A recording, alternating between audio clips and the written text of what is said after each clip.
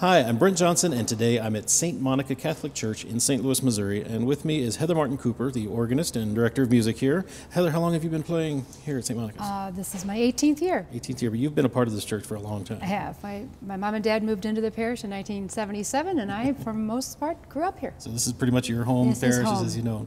Well, the organ we're talking about today is a Martin Ott instrument. Martin's here from St. Louis, and this instrument says 1991 on it, but we know he was working on it in 1989 when it was commissioned and contracted. Uh, it's an all mechanical action organ, and 27 ranks is what Martin and I came up with. So. Sounds right. Um, and it's been through a few little changes. Uh, it most has. most recently we had Improvements. Improvements. most recently we had a big problem. What happened a few years ago? oh my gosh. Well, somebody two days after Christmas um, lighted a fire in our church, Oh, uh, lighted the nativity scene on fire, and then walked out the door. Wow. And so we had a lot of smoke damage. By God's grace, no human beings were harmed. And the building Uh, was, the was building not damaged. was it was a big big cleanup in here, but no uh, no one was hurt. So the organ though um, got really dirty, and um, the facade pipes did get a little bit of water uh, splashed when the hoses from the fire. Uh, firefighters came in, and that unfortunately has never been able to be. The pipes have never really been restored. Yeah. So after the fire, uh, Martin came, and the next day he came in and kind of did an evaluation and determined there was no damage to the organ. The fire was really only about 10 feet from the case, so we're really very lucky. Wow. But it was filled with soot and an awful lot of debris. Um, that he said an organ case shouldn't look this dirty on the inside until it's 100 years old. Uh, that's a different story about how the church had been cleaned for a period of years. Um, well, a leaf blower was used Oh, from the no. back to the front to blow it all. And where did it go? Oh my gosh. right in here. So uh, we were, in a way, it was a, a blessing in disguise because the whole organ came out and it was cleaned, um, and we were able to um, have some improvements made to it. Um, I, I call it finishing the organ. It, when we when the organ went in, um, I was in college at the time, and I remember. He cut a few corners. For one thing for the space that this is in it's, it's a very specific very tight fit. Um, martin doesn't have any other organs that look like this one um, at all. It's not maybe uh, it's not at all the classic look uh, for the kind of organs that he builds. But he built it so that uh, you know he was within a half an inch of the ceiling if you will. Yeah. I mean, really very tight. Um, there was some at the time um, opposition to the instrument, and it was thought that if the right side of the case had um, a white painted finish, it would make it look like the organ wasn't so big. So I guess the perception was that people wouldn't think it was, you know, Yeah. uh, whatever, as large as it is or whatever. Um, then we had the church. Um, kind of renovated in a way in 2004, 2005, and the wood tones throughout the church were made to be a lot more in line. Uh, we had different, the, the pews at the time were honey colored, the ceiling was a little lighter, um, the finish on the pews was really in bad shape. So they made an attempt to more bring in line the wood tones in the church. And somebody, um, quite unannounced and uninvited, came in and on the white side of the organ case, hand painted a wood grain. Wow. And that was not terribly well received. Uh, this organ then got an entire new uh, wood facade. Oh, wow. As an eighth of an inch, you can see all around that Yeah. um, the whole case got a, an oak um, Okay. frontal, frontal piece, if you will. So that was one of the first things. But um, back to what I was saying, there were a few stops that were um, not complete. For instance, the four foot flute on the great ended at tenor C at the time. Shortly after that, um, it was extended down to tenor C. But after the fire, it was extended all the way down to low C. That was great. Um, there was not a celeste in the organ, there was a Gemshorn, and it also ended at, at tenor C. Um, Martin added an eight foot Italian principal in the swell and revoiced the Gemshorn as a celeste. And that Italian principal is just the most versatile and beautiful stop on the organ, and there are a number of really lovely stops. So things like that. Um, we added a Zimbelstern uh, also after the fire, which has just been kind of fun. The organist at the time was my, my teacher and mentor, Dr. Marie Kramer, and I don't think she was such a fan of Zimbelsterns and accessories like that. Um, but it's been a lot of fun to have the Zimbelstern. It's added some festivity and, and color on festive days. Um, it has an optional off button for the star, so you can play the Zimbelstern uh, without the star turning. Okay. The bells. Well, I'm anxious to hear some of it. Um, let's just start. The great is what's right here in front of us. The divisions are side by side, so we have the swell to the right and then the great in front of us. So let's start um, right with the great. Let's that eight eight foot principal, which is some of it's out here in the facade. It is right here.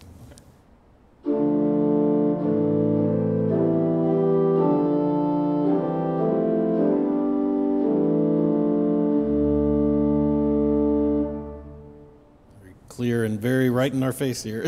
We're up next to it. It is, and it's a comforting sound at the same Yeah. time. It's not terribly aggressive. hmm Nice and warm. Okay, and then we have an eight foot octave to add on top of that. Let's just keep building that up. Very good.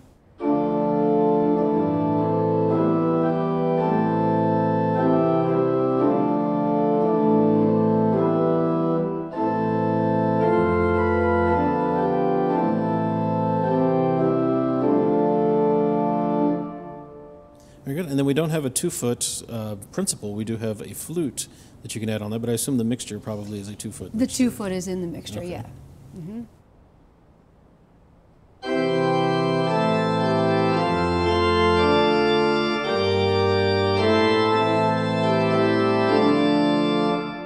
Yeah, very bright sound now. Um, Here it is. yeah, very big and full. Okay. Um, and just for fun, let's go ahead and put the reed on to go up from there.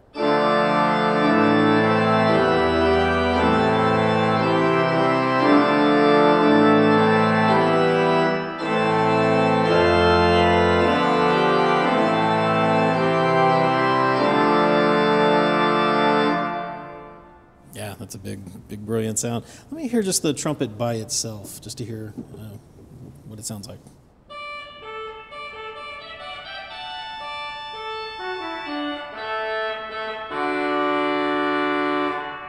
Okay, yeah, a lot of brightness, not a not a huge sound there. Okay, and then we also have uh, some flutes here in the great. What do we have? More flutes. Or- Yeah,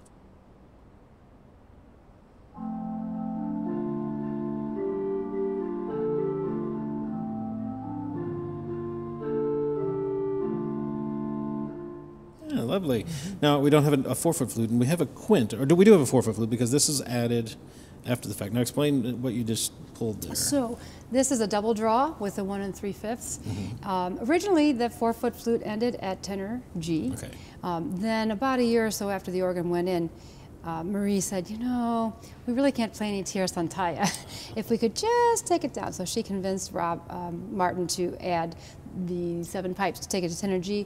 And then after the fire, it was extended all the way down. So we do have a four foot flute, We but It, do. it just lives on this draw knob with the one and three fifths as well. So let's let's hear the eight and 4 Mm-hmm. together.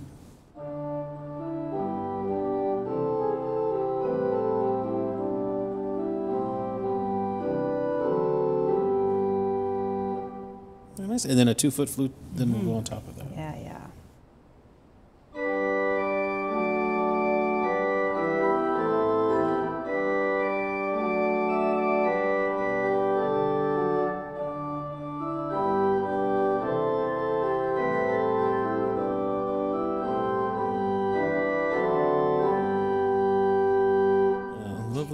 That's big enough to accompany some Yeah, congregational definitely. singing. Gentle, clear sound though. It really fills the room. I should add, there's like no soft surfaces in here hardly at all. So Not the, the organ really travels all the way through the back of the room. Even though it's off to the side, I can attest the back of the room. It just it The sound way is so much better at the back. Yeah, yeah. about two thirds of the way back. Okay, um, and then let's uh, talking then about that the one and three fifths cornet there. Um, we also we do have a quint, two and two thirds, that we can add to it, and then you just pull this the rest of the way out, You do and that gives you the.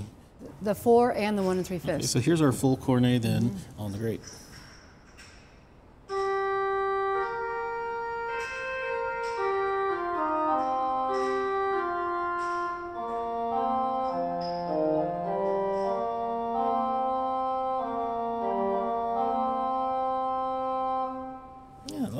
Is one of my favorite sounds. Of Yeah, of I the can organ. imagine. Let's uh, talk about the swell then, which again is over here on this side on the Mm-hmm. top manual. Tell me what stops we've got in the swell. Well, what I say is the most versatile stop on the organ is the eight-foot principal. And this was the one that was added. This was completely new. Yes, Italian principal.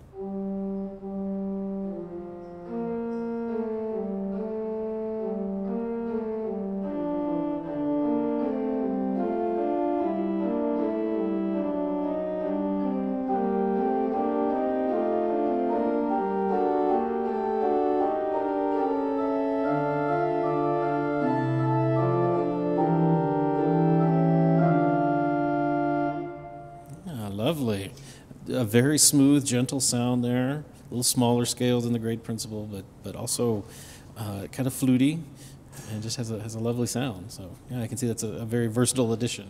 So with the box closed, it's it's still um, not too loud to accompany a cantor, and then you know even sometimes on the same psalm, I might um, close the box with a cantor and then open it for the people like Just on the stop. here here it is this one stop alone here it is uh, open closed.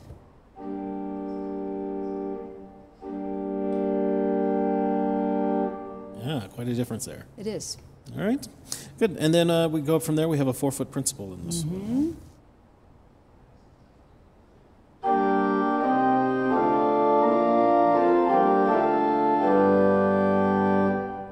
it blends really nicely. And then a two foot.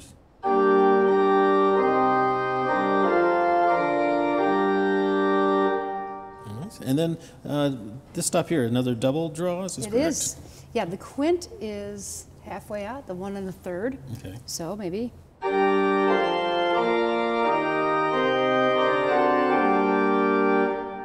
Full mixture.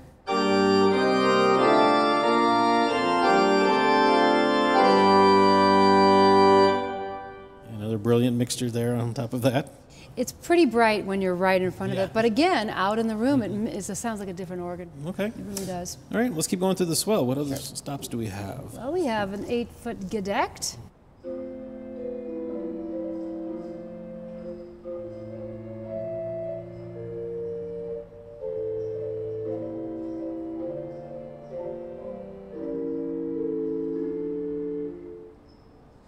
Might sound kind of cool with the tremulant. Yeah, turn that on. Let's see what that.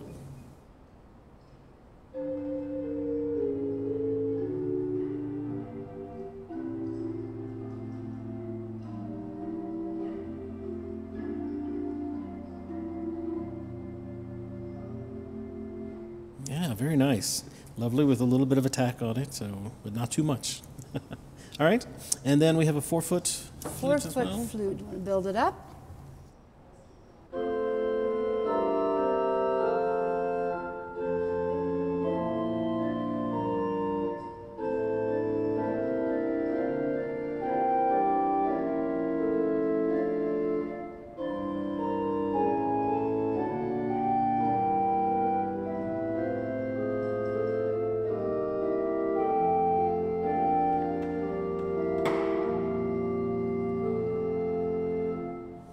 Lovely.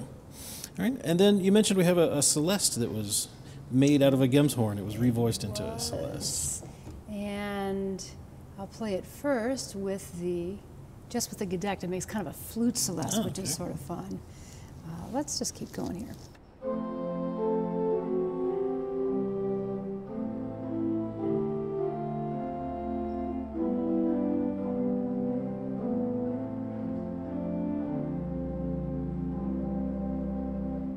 Another way of doing a flute celeste, and it's to couple this celeste to the great. Okay. see if you like that.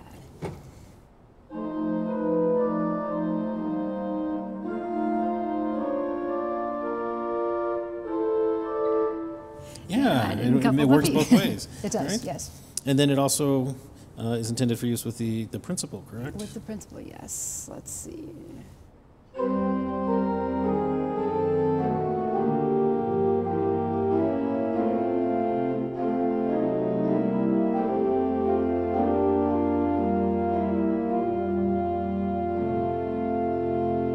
Okay. Yeah, that's that's, that's amazing that that is that flexible. Uh, it gives you that many more colors just by the addition of one It's stop. kind of fun. All right, we have one reed here in this division. One reed, indeed. Yeah, the oboe.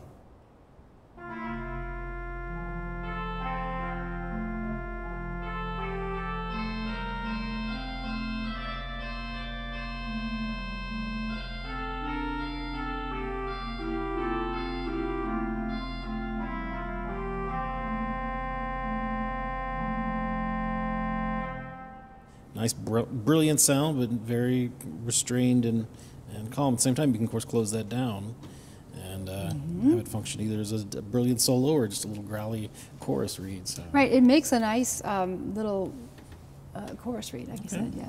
Um, well, uh, that's all of our manual stops. Uh, we have some in the pedal here as well, though. Um, starting with a 16 foot sub bass that you have. sub bass, yeah. The sub bass is, um, we're really blessed because it balances just about everything. I can play it against this Gedeckt and it's not too loud.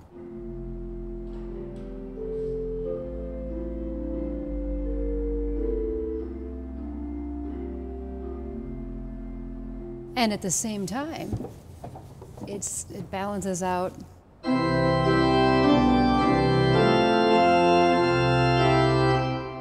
Indeed. the chorus. Yeah, So we're really blessed with that. So yeah, the sub bass 16, and it's right there behind yeah. the. Uh, so the, the the pedal here is in the tallest part of the case that it's allowed to be in, um, so it makes sense that that's right there. Uh, then we're going up. We have a, an octave bass, eight foot. Mm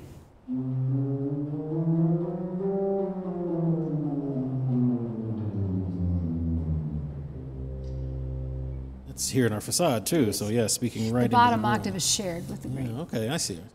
Um, and then uh, eight foot rohr flute.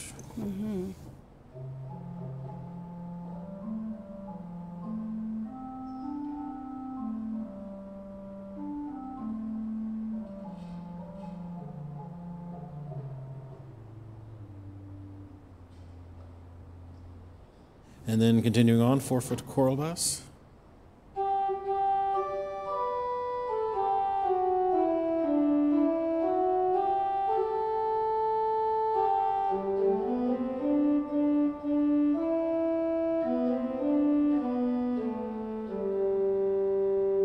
And that's all actually up here in the same level as the great. That's another one of my favorite sounds.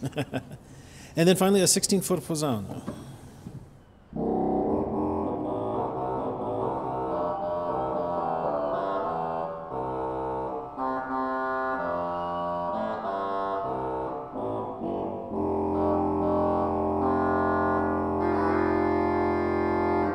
Very nice, yeah. Good uh, underpinning there for that full chorus. So on this, the great eight-foot trumpet, Mm-hmm. um, when you pull it all the way out, it plays uh, like you would expect on the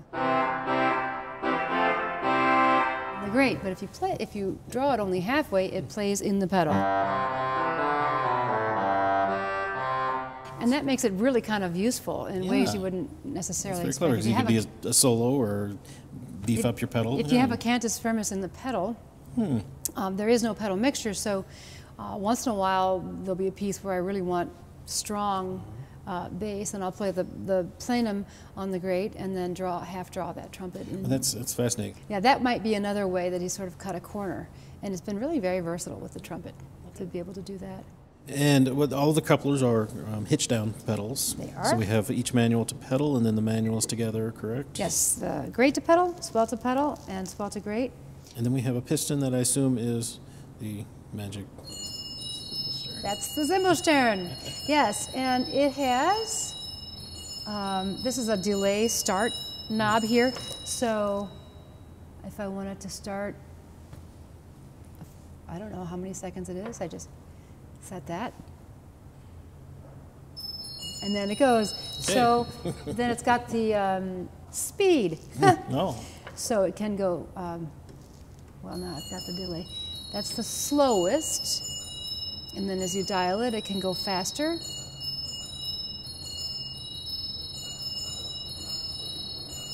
Take it about halfway. And then the volume. That's the Oh, quietest at about medium speed. And it just dials up. So there you have that. So much more versatile than most of them are.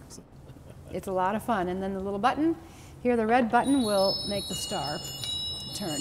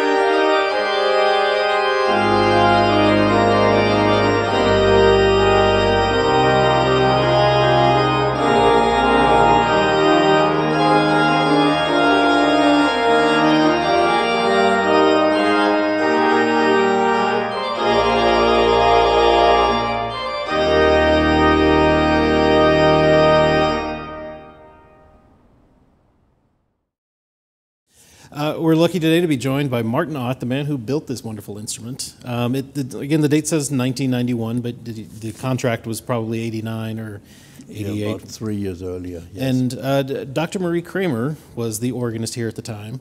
Um, how did you get come to know uh, Dr. Kramer? well, I came to St. Louis in December of 1970 for the first time, and I stayed at Mr. Brummer, who was Midwest Organ Service. And one evening he said, I have to call a friend. And I said, Well, it's nine o'clock.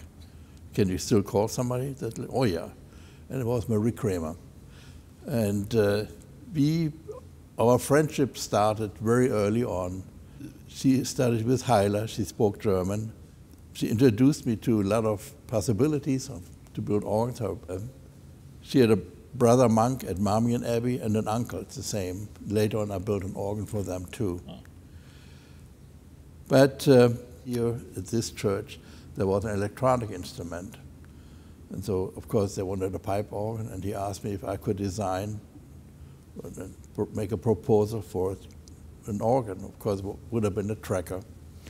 Now, the console has the swell stops on the right side, which is unusual for America, and the great and the pedal on the left, because the swell division plays over to the right, and so that the stop action doesn't cross the, we put on the right side.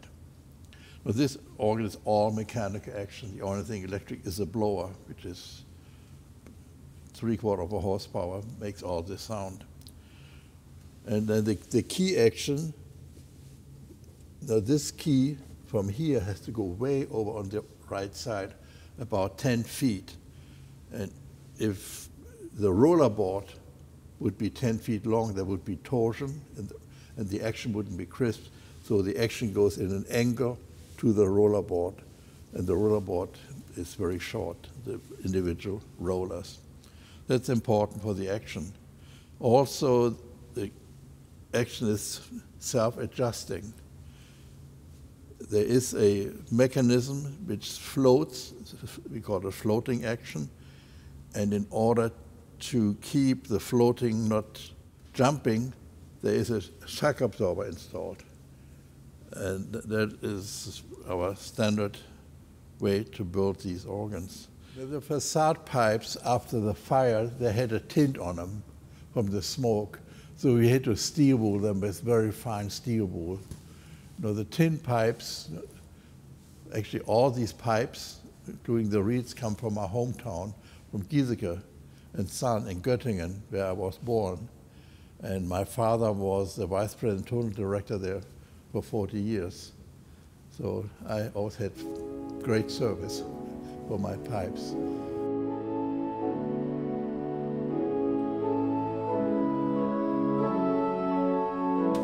Here we have the great and pedal chest is combined. So there are 56 pipes in the manual and 30 pipes in the pedal. So all these tone channels are here. This is the fagot for the pedal, and then right behind is the pedal reed and great reed, which shares it's a double draw. You can play it from the pedal or from the great.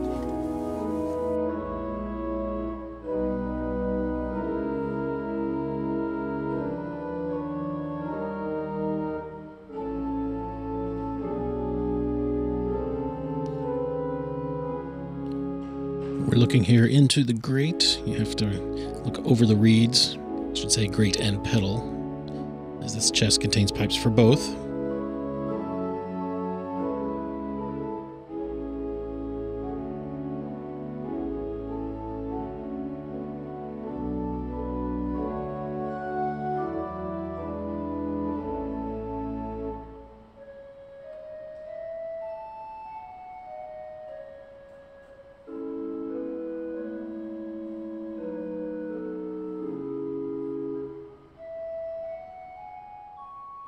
Here we have the roller board for the great and the pedal.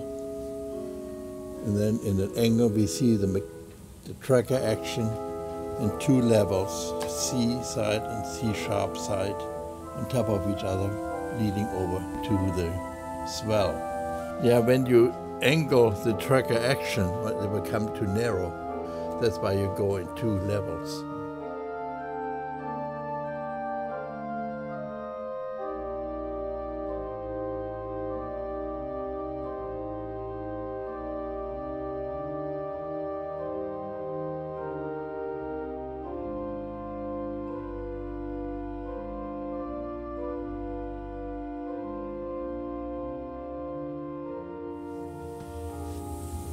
The key action arrives here and then it goes to the roller board when I move a note.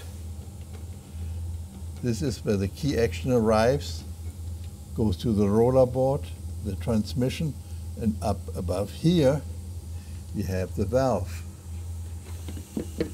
Now here we, on a mechanical action organ, with a slider chest as this is, you have from front to back a channel and when you open the valve, the air will enter into this channel and filter. Then the slider is a wooden strip which has corresponding holes with the toe board and the wind chest. So when those holes are lining up, the pipe will play. So every pipe has two valves. One is the tone valve, and the other one is the register valve. As a governor, the valve can open. If you play staccato, the valve would fly open farther than it has to. That's why we put a stop there, so that the action repeats quickly. If there wouldn't be, the valve would pass this point, would take more time for it to close again. And you know when the valve only goes as far open as the key depresses it. It doesn't have to go any farther. Very simple system. It's the original style of a pipe organ. J.S. Bach would walk in here, he said, oh, I know all that. I wouldn't have to explain it to him. This is a reservoir which will fills up and supplies wind to each wind chest. Now there two winches in this organ. One is a swell only, uh, the other one is great and pedal combined on one wind chest. They have the same wind pressure, about three inches of water pressure. If you have a U-formed glass and the pressure is three inches if you connect to this organ. So it's not a lot of air. And this is the shock absorber. You know, if you play, press your hand down on the keyboard for let's say half a minute, it will loosen up, but then it adjusts itself again. It's a very simple system, but very effective. There's very little weight. This square rail is weighted, that is, has maybe only two pounds of pressure down, which is then regulated in this piston cylinder filled with oil.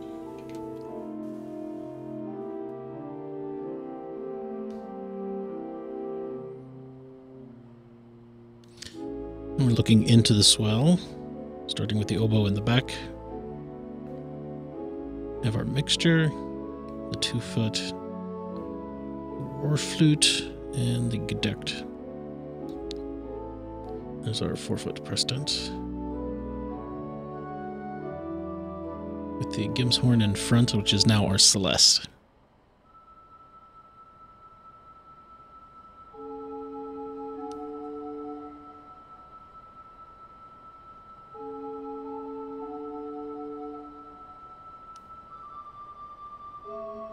The bottom of the Italian principal is all Haskelled and it's set over here on the side.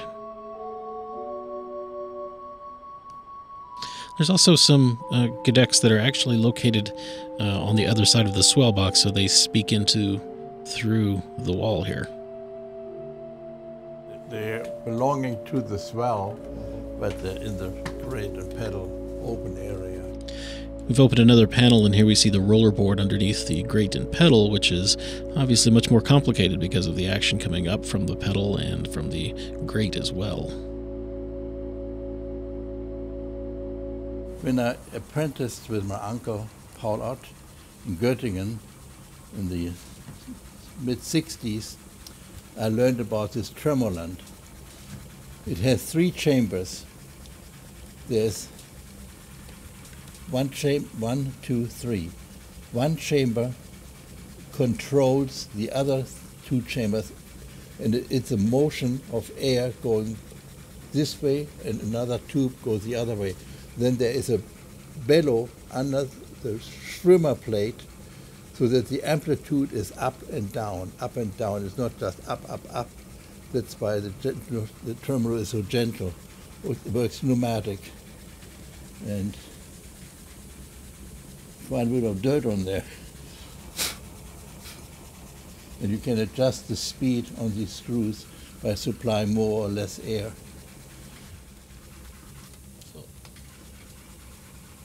See, this is a controlling unit. And actually, those valves are larger than this one. Since the acoustic was so bad and the ceiling need to be painted, I suggested to contact Scott Riedel in Wisconsin, acoustician, good friend of mine, what paint we should use for the ceiling.